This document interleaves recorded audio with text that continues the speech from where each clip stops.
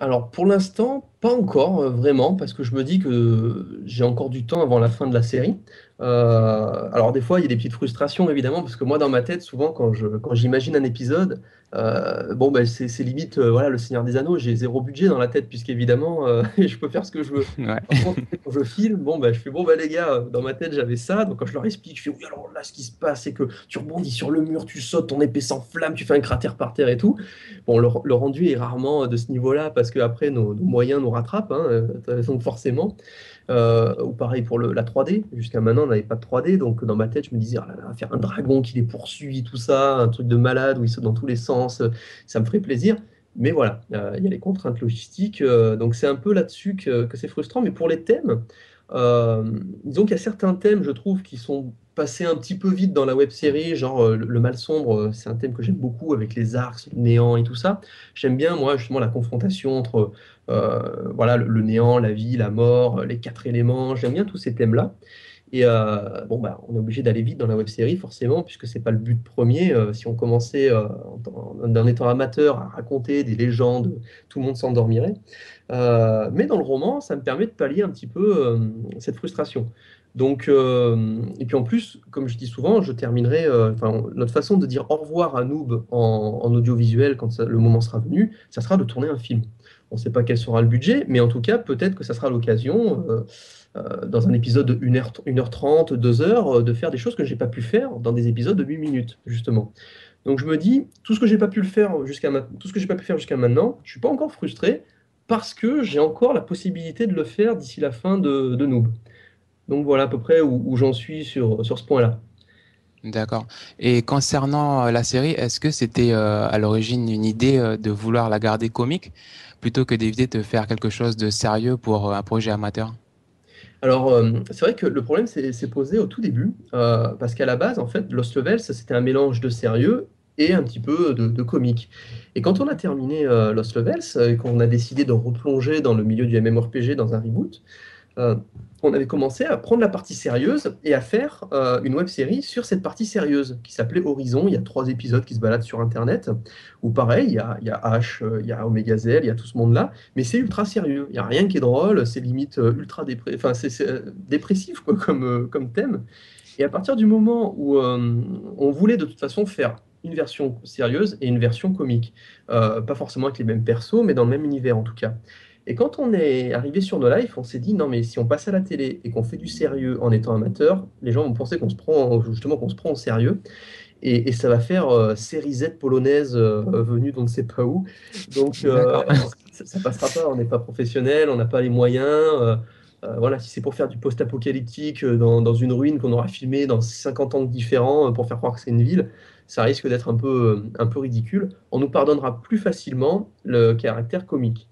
Et, euh, et le caractère comique, en plus, euh, c'est vrai qu'on on est assez à l'aise dans, ce domaine-là parce qu'au final, c'est issu de beaucoup de délires, comme je disais tout à l'heure, sur les MMO, MMORPG, donc World of Warcraft et d'autres MMO auxquels on a joué. Et on s'est dit, c'est vrai qu'on a pas mal de conneries à raconter, euh, du vécu assez, marrant. Donc on s'est dit, bon, pour la télévision, il n'y a pas photo, il faut qu'on fasse de l'humour parce euh, on nous pardonnera plus, facilement notre amateurisme. Au fait, en dehors du budget et des contraintes de temps, quelles sont les autres limitations auxquelles tu dois faire face et qui pourraient t'empêcher de diffuser à temps les épisodes?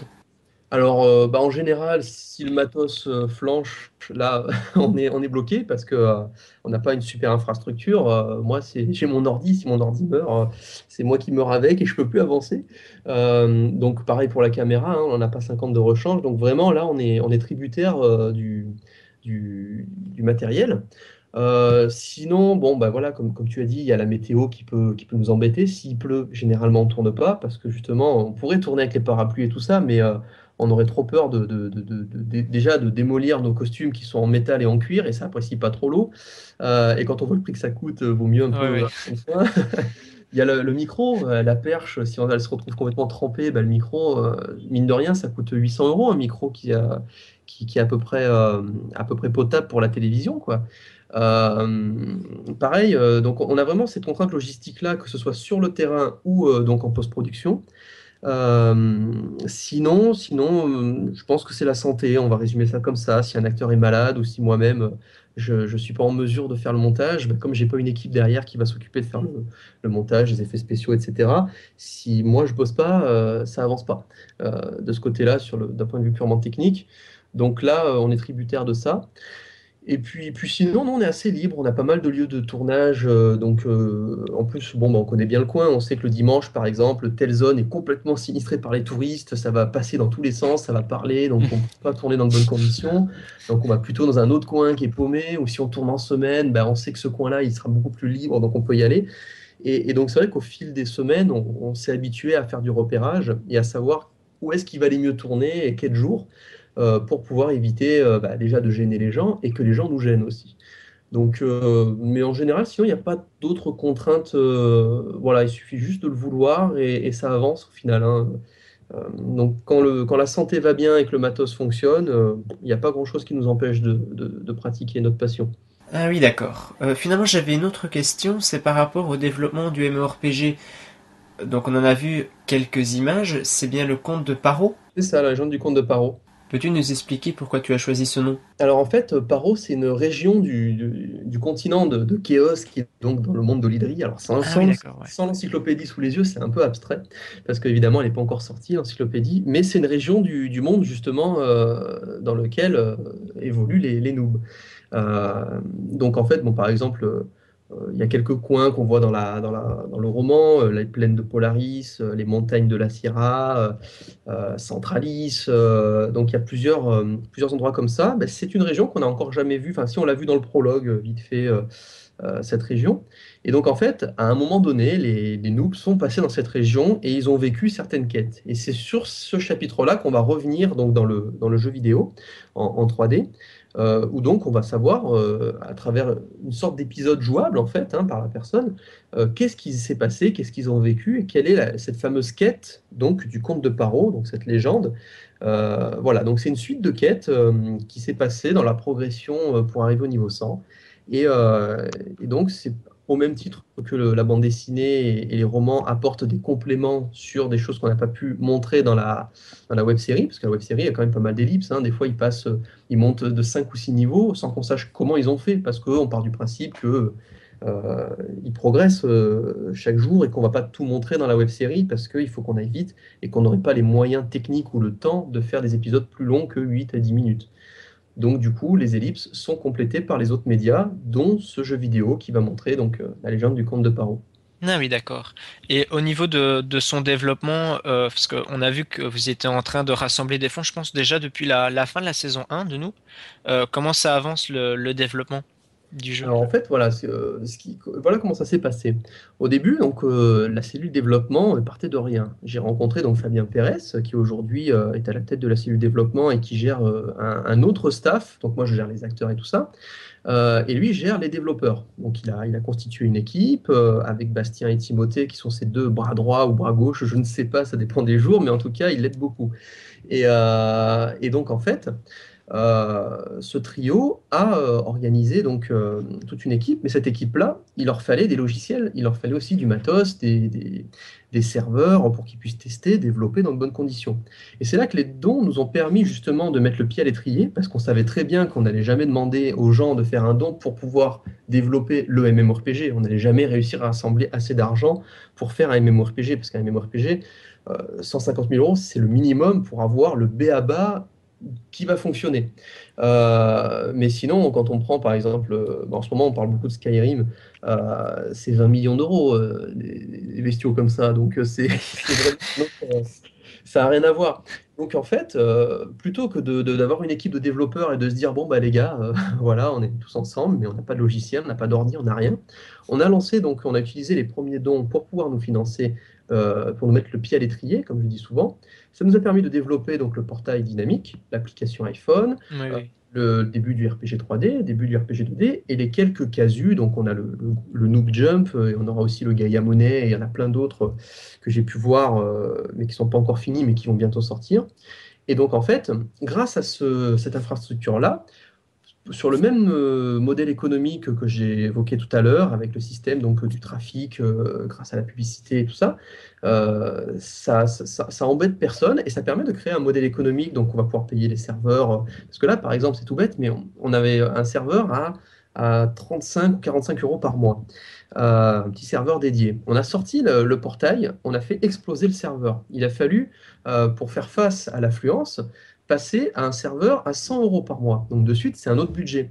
Et donc c'est vrai que cette publicité euh, nous permet de, financer ça et donc d'avoir des, licences gratuites, enfin gratuites, légales qu'on a payées, et plutôt que d'avoir des licences craquées euh, ou des trucs comme ça parce que parce que c'est pas facile quoi quand on est amateur et qu'on part de rien.